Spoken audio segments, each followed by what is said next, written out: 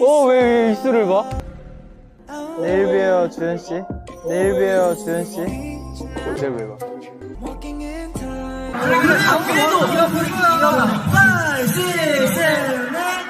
마카오에서 공연을 잘 마쳤는데요. 네 맞아요. 네. 항상 이렇게 어땠죠, 주현 씨? 아 그냥 되게 진짜 아,